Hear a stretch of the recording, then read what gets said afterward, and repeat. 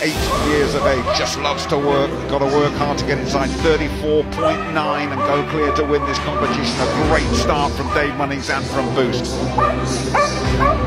Good seesaw, up right towards the tunnel, in, out in a blink, up and over the, the dog walk, flying on that dog walk is Boost and Dave Munnings.